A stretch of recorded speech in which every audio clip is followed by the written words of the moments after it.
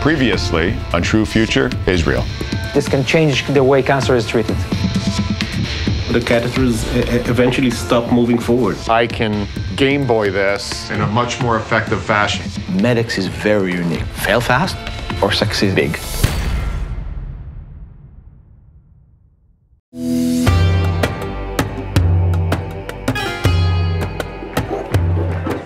We a pretty cinematic day. Really, I mean, this is, like you can't ask for better than this. Today I'm on the Western Wall with Mishy Harman at one of the holiest spots in the world. If you just look around, there's probably people here from 30, 40 different countries, you know, speaking 30 or 40 different languages. And this activity is 365 days a year. Absolutely. On Yom Kippur, which is the holiest day of the year in the Jewish calendar, you'll see there's, you know, tens and tens of thousands of people. You can't move here. It's like, you know, I don't know, Miami Beach on, uh, I, don't, I don't know what, what the, Some rave music. Right, right, right. The number of activities going on around me right now are insane. Got music celebrations here. Little bar mitzvah happening here. Mazal tov! Look at the woman sort of trying to peering peering over the over, wall. yeah, over the wall. As you the- said, they gave birth to those yeah, it's unbelievable. boys and they can't Yeah, engage. participate. Right. Being at the wall, I feel torn between the rational engineer in me as it's only a location somewhere on planet Earth.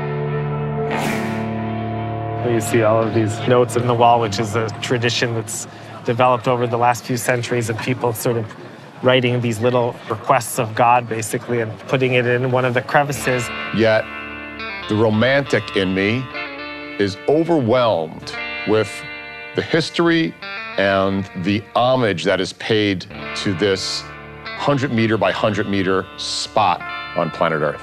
I'm in the school of I don't think I have to go to a place Right. to have faith. Seems Right, right it to could be any place. But it's not the significance of the history is not lost on me. For sure. But just by touching it, you can feel the significance because they're so uh, smooth from all these hands. So this has been worn down by Yeah. Generations of generations of hopers and prayers and truth seekers. One of the most amazing stories that we've come across is a story that happened right here. I love storytellers. And what I love about them is the respect by which they paint their picture. And Mishy approaches storytelling entirely different than I do. So in 1967, there was a war here called the Six Day War. During six days of war, Israel tripled its territory, uh, conquering the Sinai um, and all of the West Bank and the Golan Heights. But at the time, in 1967, the Kotel looked entirely different. From here all the way on, there was a neighborhood, houses, a Palestinian neighborhood called Shkunat Mugrabin. And this 22 year old commander, Abi Levi, arrived with his soldiers at the Kotel. And it was the middle of the war. 36 hours beforehand, they had been all involved in this very bloody battle. And then out of nowhere, he hears two little kids coming out of one of the houses and yelling, Doctor, doctor, doctor. And they follow these two toddlers into the bowels of this, uh, of this neighborhood to their shack. And there, AB and the doctor see the kid's mother in the middle of giving birth. And these Israeli soldiers in the middle of the war help this Palestinian woman give birth to a little baby girl right here and they run back to the Western Wall, and the war continues. So the minute I heard this story, we went on a uh, all-out operation to find the baby who was born here. We were looking all over the country for her, and ultimately I went on national radio and I told this story, and I asked the public to help me find this woman.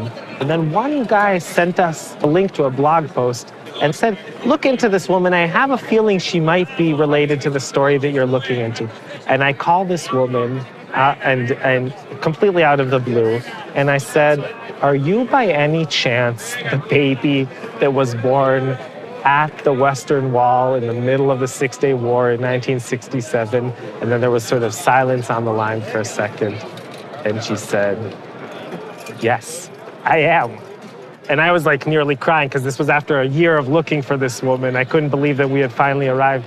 And I found her, and it was super interesting because it turned out this girl grew up as a Jew and basically now is in denial of being an Arab. And we, uh, we brought all of the people involved. The officer who was present at the birth, we brought them right here. What were the emotions that day when everybody got together? It was interesting. For some, it was this kind of cathartic moment of nostalgia, especially for the officer. ששכבה שמה וקראה ללדת ותקש בלידתה. והפלא ופלא, יצאה מין פגייה כזאת קטנה. That was for him. For her, it was much more complicated, I think, because it forced her to confront part of her identity, which she's done her utmost to suppress. because in Israel, things in many ways are still very much black and white. There isn't some like a porous overlap between the two. But of course, in reality, there is. That's Uh, an amazing story. And the fact that yeah. you were able to just serendipitously find her. is- yeah, it's amazing.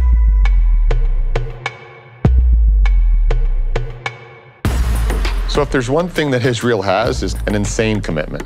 And whether it's their commitment to telling a story, or their commitment to belief, or their commitment to technology, this country of 8 million people went all chips in on technology. The robotics industry in Israel is incredibly robust. So much technology comes out of this country. We have no other choice. You don't have oil. I would say Professor Moshe's royalty. Uh, royalty, certainly within the technology world, as it applies Israel and medical device. He's been at the starting point, the genesis of nearly every robotic platform that's come out of this country.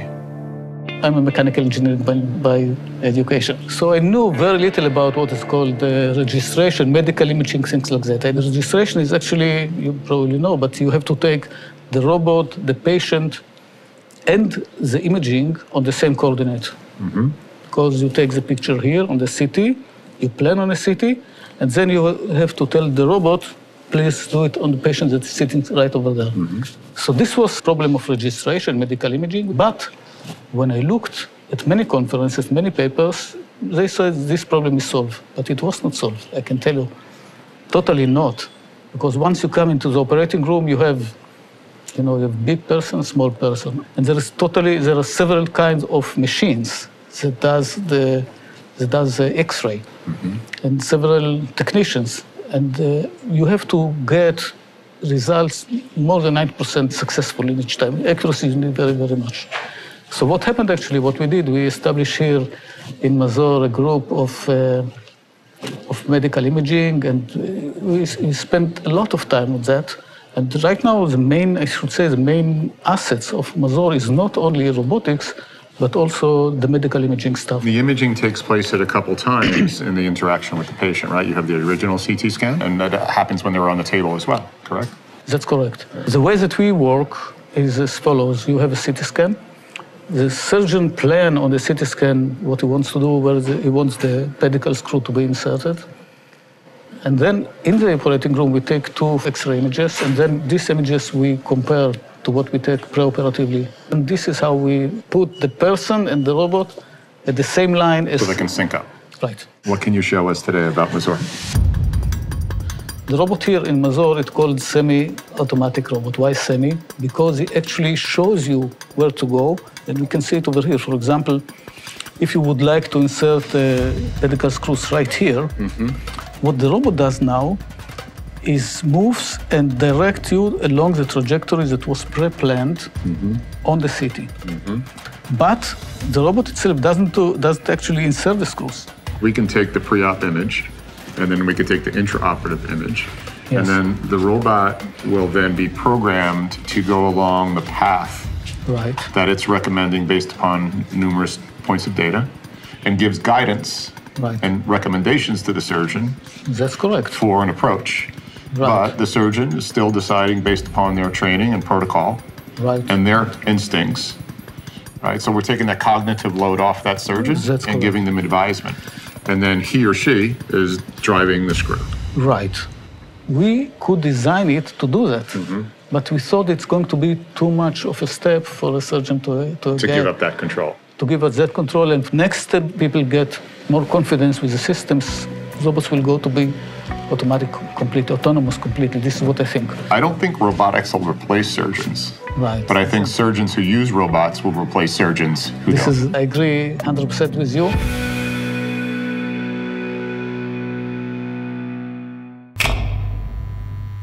Do you think that robotics are being taken to another step that people will be uncomfortable with?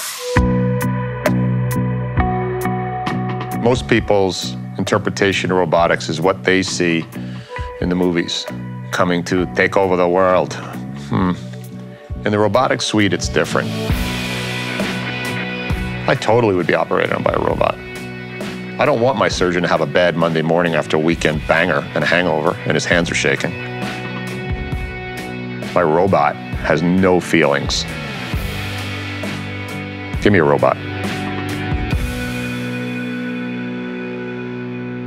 Next time on True Future, Israel.